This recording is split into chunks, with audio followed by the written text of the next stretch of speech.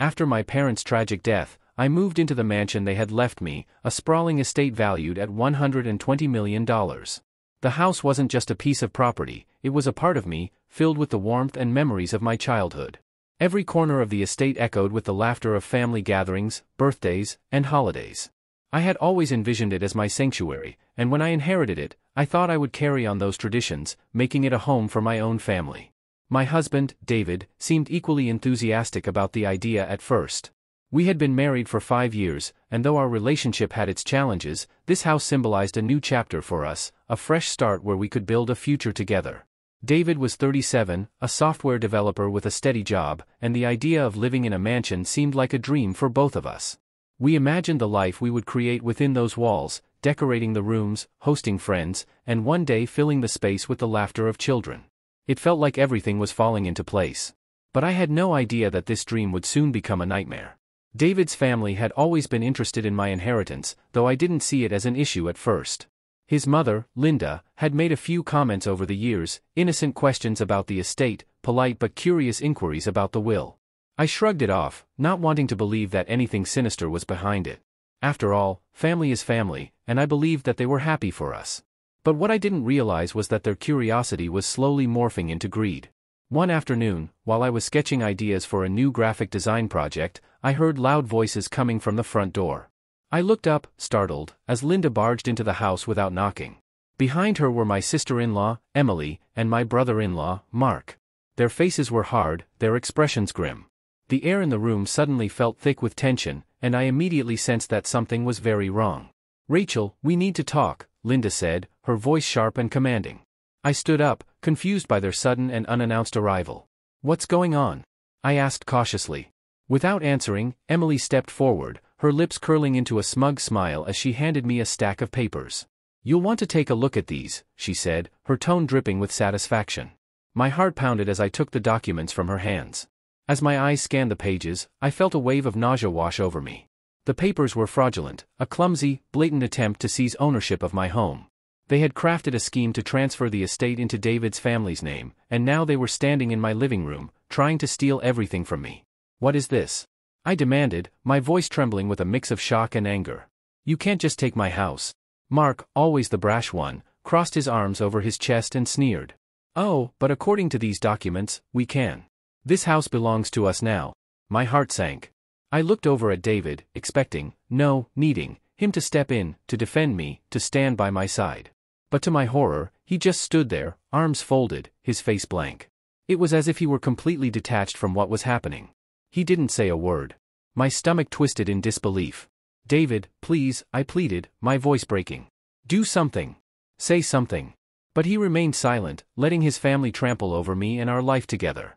It was in that moment, staring at the cold indifference on his face, that I realized how alone I truly was. The man I had loved, the man I thought was my partner, was standing there, watching as his family tried to strip away everything I held dear. Linda stepped closer, her eyes glinting with malice. Rachel, this is for the best, she said, her voice taking on a sickly sweet tone. You don't need the burden of this house. We'll take care of everything. It's too much for you. I felt a surge of anger rise within me. This is my home, I snapped. I'm not leaving. I won't let you take it from me. Her expression darkened, and without warning, she raised her hand and slapped me hard across the face. The force of the blow knocked me back, and I staggered, my cheek stinging with pain. For a moment, I was too stunned to react. The audacity, the violence, it was too much to comprehend. But it wasn't over.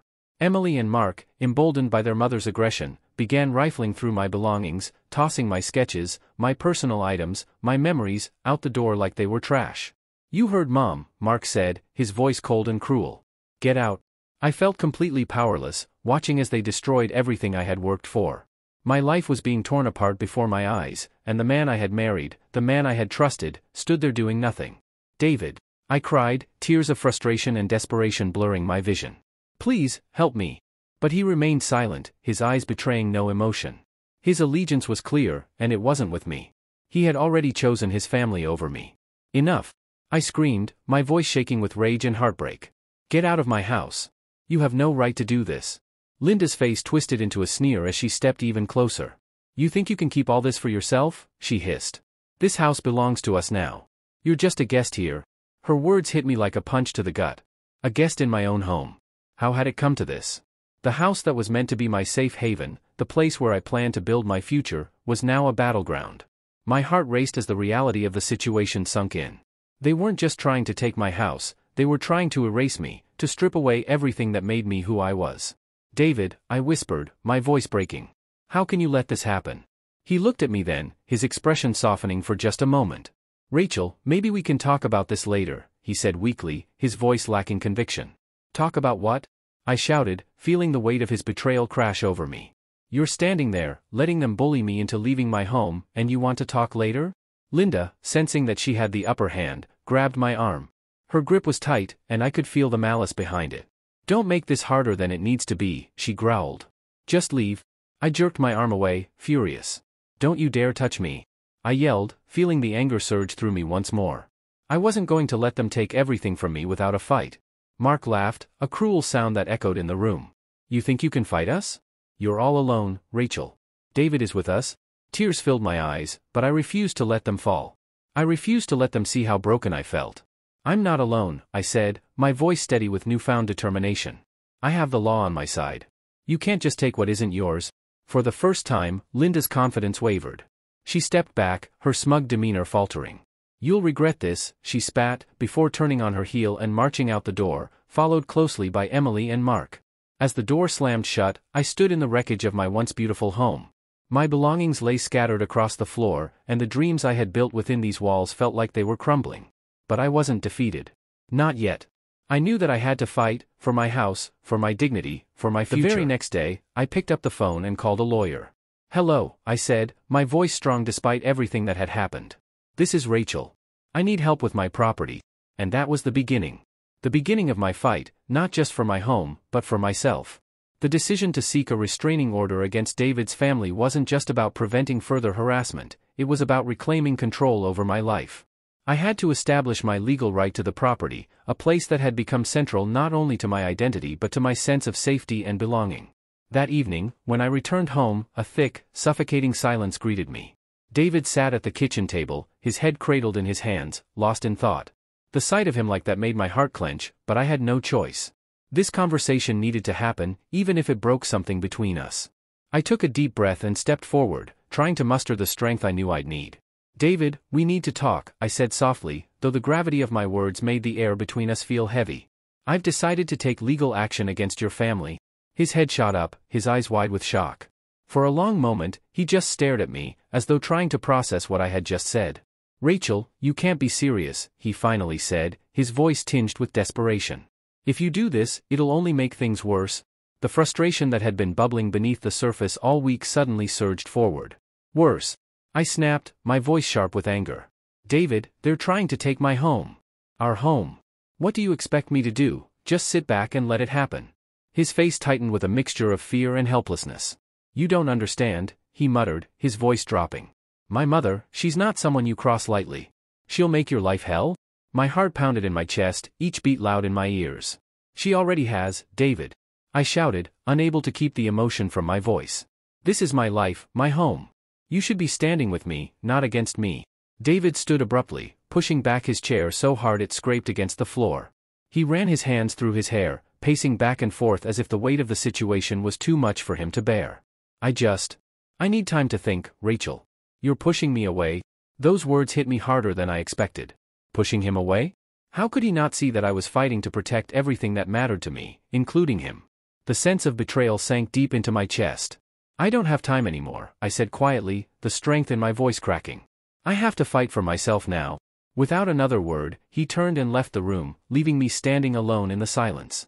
The door clicked shut behind him, and for the first time, I truly understood that I was alone in this battle. But instead of sinking into despair, a flicker of determination ignited inside me. If no one else would fight for me, then I had to do it myself. The following week, I filed for the restraining order. I spent hours preparing my case, going over every detail, every instance of harassment, every moment of fear. This wasn't just about protecting my property, it was about reclaiming my dignity and asserting my right to live without fear. When the court date arrived, I dressed in my best suit, hoping that outward confidence might help me mask the anxiety twisting in my stomach. I needed to project strength, even if inside I was shaking. As I entered the courtroom, my eyes immediately found David sitting with his family. The anger on their faces was palpable, their disdain almost suffocating. But I didn't let it shake me. This was my fight, and I had every right to be here. I took my seat and waited for the proceedings to begin, feeling the weight of the moment pressing down on me. When the judge asked me to present my case, I stood up, my heart hammering in my chest. My hands were cold, but I kept my voice steady as I recounted the harassment, the threats, the invasion of my home. I laid out everything, detail by painful detail, refusing to let myself be cowed by the icy glares coming from David's family. When I finished speaking, I glanced at David, hoping for some sign of support, but his face remained stone cold. It hurt, more than I cared to admit, but I turned my focus back to the judge, knowing I couldn't rely on him. The judge's ruling came swiftly. The restraining order was granted, and for the first time in weeks, I felt a wave of relief. I had won. I had stood up for myself, and it felt powerful. But the victory was bittersweet. David's silence throughout the proceedings echoed in my mind, a painful reminder that I was fighting this battle on my own. Leaving the courthouse, I knew this was only the beginning. David's family wouldn't take this defeat lying down, and I had to be ready for what was coming. At home, the tension between David and me became unbearable. He avoided me even more than before, the conflict creating a chasm between us. I often caught him staring out the window, lost in thought, as if trying to find an escape from the situation. His silence hurt, but I couldn't let his indecision weaken my resolve. I had made my choice, and I had to stand by it, even if it meant standing alone. One evening, there was a knock at the door. My heart skipped a beat as I peered through the peephole. David stood on the porch, his clothes rumpled, his face haggard.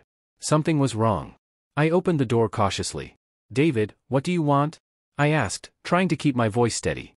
He stepped inside, glancing around nervously as if he were waiting for someone to jump out at him.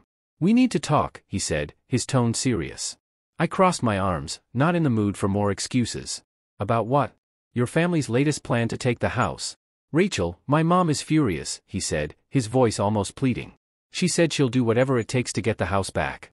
You don't understand what she's capable of, I felt the familiar frustration rising in my chest. David, this is my home. I'm not going to let them take it from me. You need to decide where you stand, because I won't wait for you to make up your mind. He looked away, his voice barely a whisper. I don't know if I can stand up to them.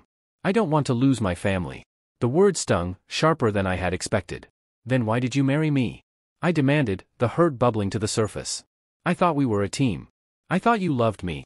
He hung his head, clearly torn. I do love you, Rachel. But family is everything to me.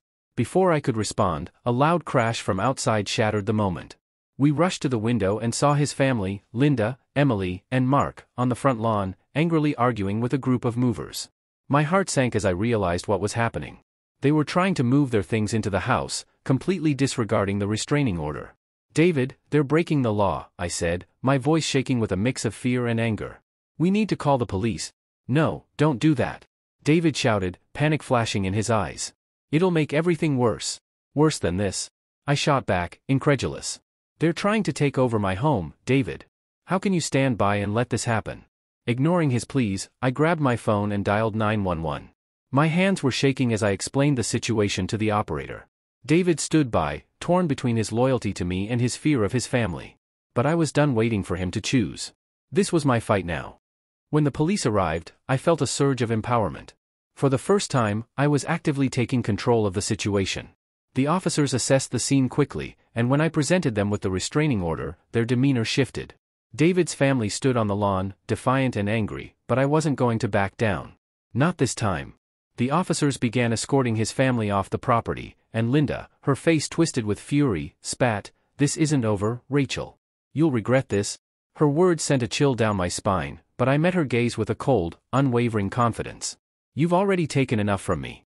This is my home, and you won't take it away. As the police led them away, I felt a wave of relief. I had fought back, and I had won. But as I turned to look at David, still standing silently on the porch, the weight of the situation settled over me. Our relationship had been pushed to the brink, and I didn't know if we could ever come back from this. David looked at me, his face a mix of regret and confusion. I can't believe this happened, he said softly, running a hand through his hair. I never thought my family would go this far. I stepped closer, searching his eyes for any sign that he truly understood. David, I fought for my home because I had to. I can't live in fear of your family anymore. He nodded slowly, his voice filled with regret. I should have stood by you, Rachel. I was just scared. Scared of what? I asked, my voice softening. Of their anger. Of losing my family, he admitted, his shoulders slumping under the weight of his words. You're